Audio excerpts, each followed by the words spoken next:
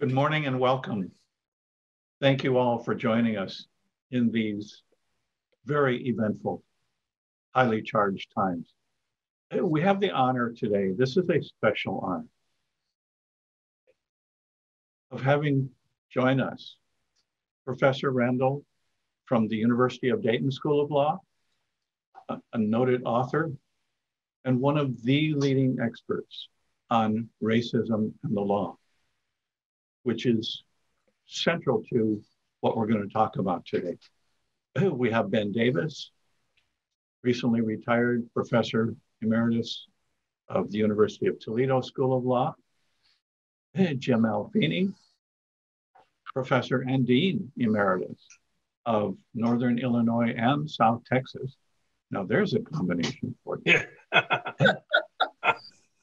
and, and to make sure that the communications exceed all expectations and bounds, First Amendment expert Jeff Portnoy, one of our most respected attorneys, litigators, and who has recently managed to successfully get court approval to get access to State Department of Education records that may give us the first good look at what really goes on in there in decision making. Maybe ever. Way Fair too many, way too many academics on this program today. it's hard enough. It's hard enough when they're just two, and now you've added a third eminent professor. I'm completely outweighed, out person, you name it. Well, uh, look, I want to tell you that my emeritus is still up in the air. You know. and, and, if you if this was uh, what uh, nine days later, you wouldn't have a professor here. There you go. well, if, if it helps, you can think of me as a nurse because I was a nurse for 20 years before. All right, there you go. All right, I'm glad. Go ahead. so, how did, Professor, how did that lead you into the law and particularly the study of racism in the law? Uh, well, I grew up during Jim Crow and I grew up seeing my uh, racial discrimination in healthcare. My mother was in a cancer ward for Black women in Philadelphia in the 50s. And so, so I, first of all, I grew up seeing that. So that's what led me into health. And then I grew up in in the in the 70s i was in alaska doing public health nurse and i wanted to go into the commissioner's office. And as a black woman uh, nurse i ended up having three stereotypes against me uh, as not being very intelligent woman black and a nurse. And so i decided to go to law school um, as a way to say hey i'm smart uh, you know, so th- that's the truth of the matter. Now, it is a useful degree. It really has helped me work on racial discrimination in healthcare. So, with the new leadership eh, on your wish list, what's at the top? Revising the uh, anti-discrimination law for the 21st century getting uh, making most people think that discrimination is racial discrimination is illegal in the united states and it's not you can discriminate as long as it's not intentional. We need to have a law that recognizes negligent discrimination, strict liability discrimination, and reckless discrimination, like we do in torts and criminal law. And that would be at the top of my list. I want to ask the professor this. When you have a Senate which has a more than just a few Republican senators who have very strong views on religious freedom. And you have a Supreme Court, which clearly now has a majority in support of religious freedom, maybe over discrimination. How do you see the next couple of years playing out, particularly in the courts? The same way it's played out for the last 50 years nothing. I mean, and, and it's not just the Republicans. The Democrats have been just as unwilling to do something to fix the discrimination law. I mean, if you look back, I'm, I'm kind of forgetting the name, but uh, the Supreme Court case, uh, Andrew versus Sandoval, I may have that right, so don't quote me, but it basically 20, 20, 25 years ago, it blocked access to the courts uh, for disparate impact discrimination, and no administration has been willing to fix it. So, frankly, I don't see it happening. You asked me my wish list, not my, you know, what do I think is possible list. So let me ask this question, Professor, real quickly, just to follow on that. Would you be comfortable with strict liability for racial discrimination? Yeah, I definitely would. I, I, mean, not in every single instance. It would be like strict liability in criminal law and strict liability right. in tort law, where you say if things happen, we're not going to get it all into your state of mind. Now, what that would be in terms of racial discrimination would be something we would need to work out and think about. But I think it's possible to say, doctor or police, if you shoot an unarmed man, uh, you know, we're going to hold you strictly liable for it. Uh, you know, something like that. But I don't want to go into specifics of what be strict liability. I'm just saying that discrimination law should be structured like tort and criminal law.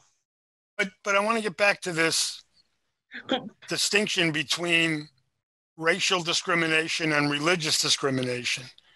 And what we've seen in the K case, what we're seeing more and more, where more conservative jurists are leaning towards upholding the rights of individuals to pursue their religious beliefs, even when it impacts racial discrimination. And I'm just wondering whether you see the possibility of that trend reversing under the next four years. No, no, not at all. I mean, the courts are not going to reverse. I mean, the only thing if if if Biden and the Democrats fill up the lower courts, district and circuit courts with progressive judges.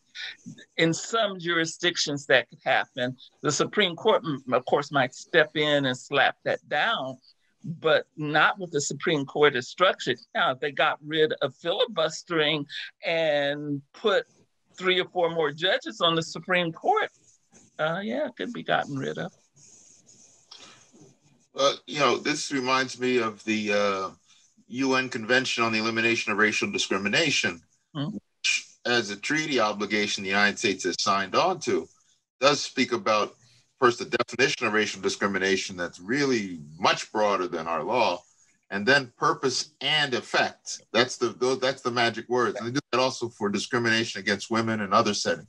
They focus on both purpose and effect, and basically, the U.S. is a narrow ver- now a version of intent within the purpose branch and leaves a lot of space for effect. Now, as to the religious thing, I think it was a dissent of uh, Justice Ginsburg in Hobby Lobby, where she went back through the cases where people said their religious beliefs were the basis for which they were doing racial discrimination, you know, that they learned it in their Bible kind of thing.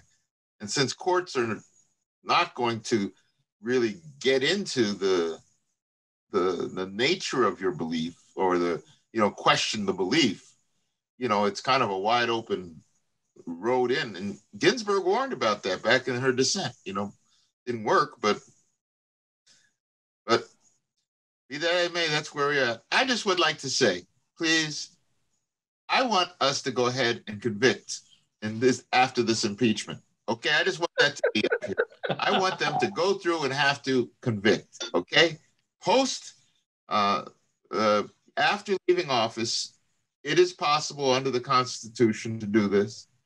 And it is an important thing because it disqualifies the person, if they decide to do it, from ever pursuing future office of public trust. And I think that that is important to have that happen, have that vote, and watch and watch. I mean, I'm like, I'm thinking to myself, if you, if I was sitting in the Capitol on that day as a representative or a senator, and that happened to me, well, as people coming in looking for me and, you know, looking like some of them wanted to kill me or something like that. Saying they wanted to kill you. Yeah, even saying they want to kill me. You know, I, I, whatever my political thing, just me as a person, you know, saying, what? Hell no. You know, hell no.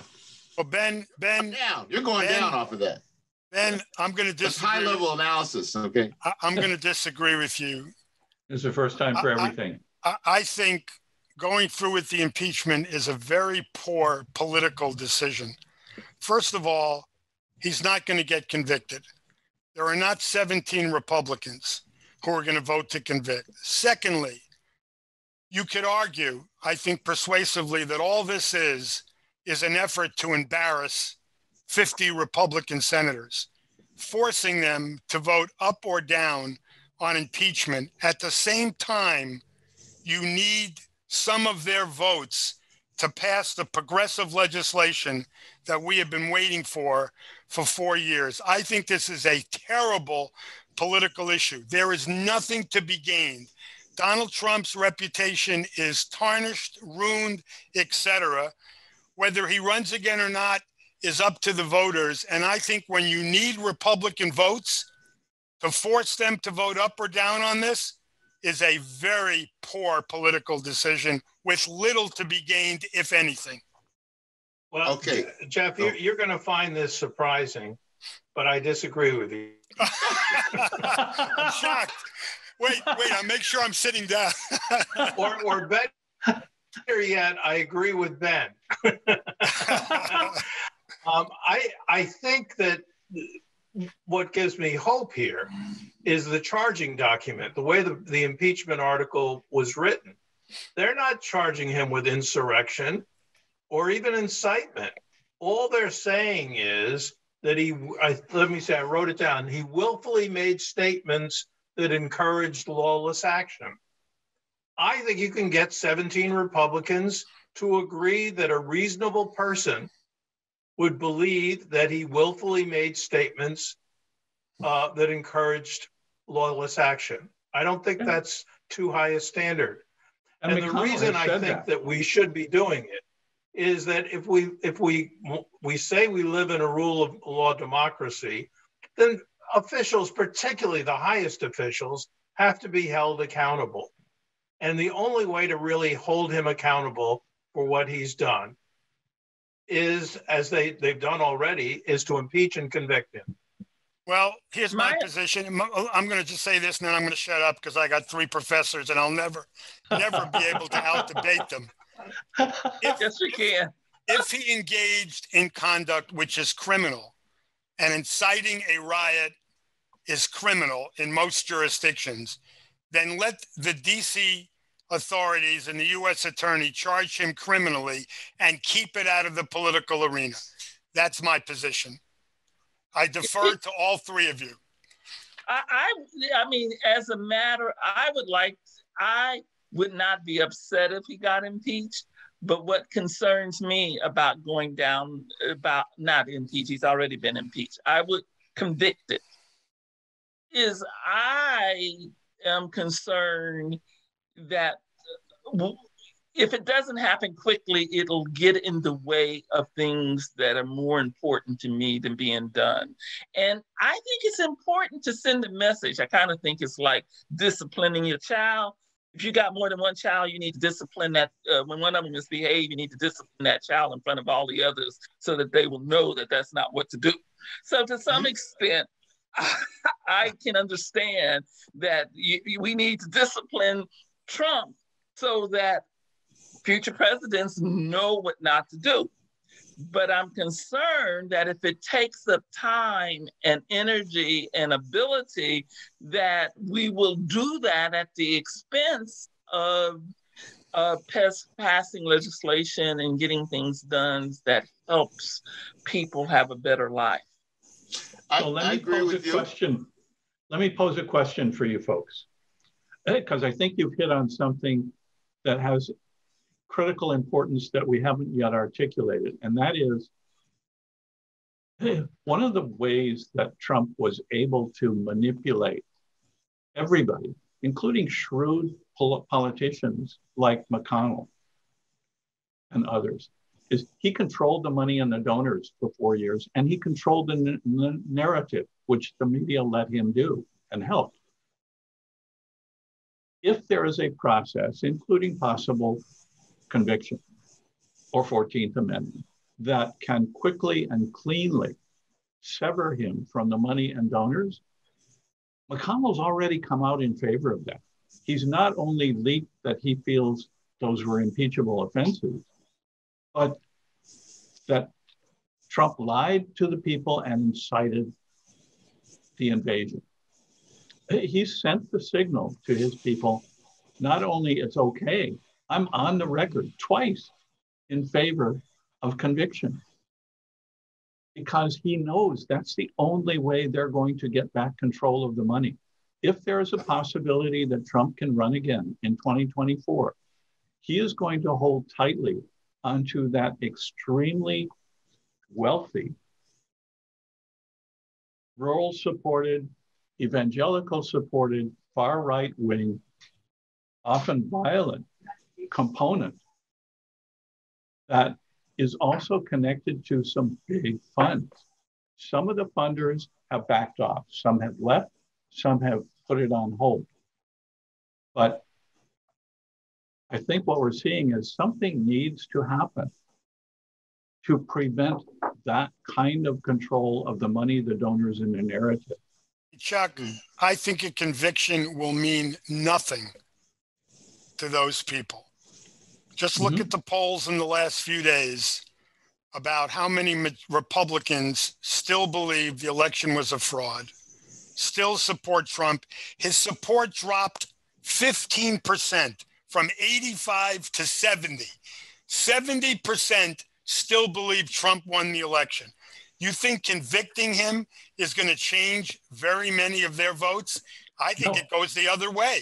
I no. think they find it to be something that gives them more reason to support Donald Trump, assuming he ever gets off the golf course and gets out of Mar-Lago, which I think is very unlikely.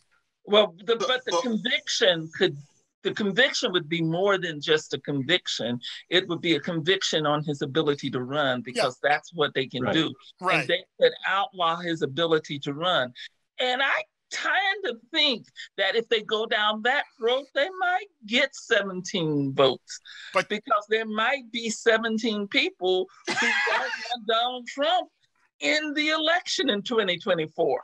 Right, they but want that money. There may be there may be 17 people that want his money in their primaries or to keep him from supporting an opponent in the primary. That would be my fear. I don't have I any fear of Donald Trump running again.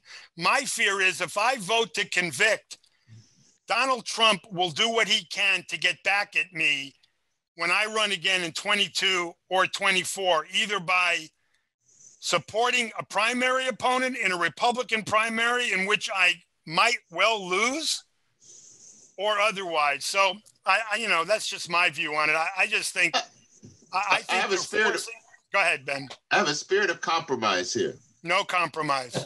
spirit of compromise, yeah, in the Senate, which is that on the day of the vote, X number of Republicans have urgent family matters. Yeah, right. okay?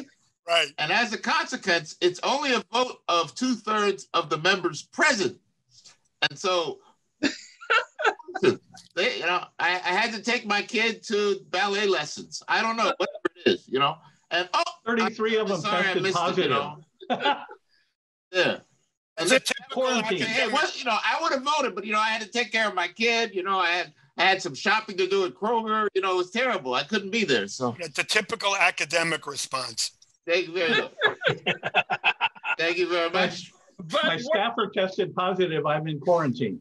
I'm in quarantine. Ah, there we go. That's. I'm terribly sorry. I'm in quarantine. I'm in quarantine. I'm in quarantine. That's and Chuck and Chuck for you to you for you to um rely on Mitch McConnell comes as quite Oh, yeah. a surprise. I thought, you know, uh, uh, lizards have various colors uh, and can regenerate a tail, but uh, Mitch McConnell is, he's probably exhibit A of what a politician really is. No question. Lizards have more spine than McConnell too, and and Graham put together. Well, I was Oh. just in South Carolina, by the way. I just came back from being in South Carolina for 10 days. And, you know, Lindsey Graham country, boy, what a joke. Yeah. Okay, Jim, you've been strangely quiet. The Well, wheels he's are turning. embarrassed. He's embarrassed about his position on impeachment. Well, uh, um, actually, I'd, I'd like to, to, to defer to one of our, uh, what- to our newest colleague um, and uh, play to her strength here and her expertise and ask her what she foresees in terms of the Biden administration moving forward on healthcare. Um, do you think there's going to be some significant positive steps there? Mm, well, Professor first Randall? of all, thank you for that. Thank you. Uh, first of all, I I've never liked Obamacare, and so it's not. I I was been hoping that it would go under, so that some so that when the Democrats got in power, they could replace it with a good healthcare system. I uh, unfortunately, I kind of think that I think the Democrats will protect Obamacare, strengthen it it- to the extent they cover, but we have a bad healthcare system, and it that does all that does is give insurance to people without really fixing the healthcare system. Um, But but don't you don't you think we're learning something with the way the vaccinations are going? I mean, my God, in some states they haven't even budged. Um, the vaccines are getting out there, but they're so disorganized. Isn't this? Can't we ease much more easily make the case for a national healthcare system? Yeah, I'm saying that it. I do not believe that the Democrats want a national healthcare system. So I don't think any They're burning. evidence put front in- in front of them is going to convince them to move to a national healthcare system. I think that they're quite happy with the system we have, the way it is, and they'll tinker around the edges on different things that need that come up. And so that you know but they're not i don't think that they'll use this to show because from look at this in my mind this would have been a perfect time to do national health care as even if it was just in response to the pandemic to say we have all these people out of work we have all these people though, that don't have good health care we have what we're going to do is for the duration of the pandemic, we're going to give Medicare for all. Just so that everybody will have access to health care. Um, but they don't, but I don't believe the Democrats want that. I think the Democrats have what they want, which is a Republican like medical plan, healthcare plan. Well, I don't think they have 50 votes for a national health plan, the Democrats. They're going to lose five, seven, eight votes at least on that. And I don't think, I don't think there's five to eight Republicans. I mean, you know, there's this euphoria today. Uh, I'm not suggesting our group has this euphoria, but there's this euphoria today that the world has changed 180 degrees.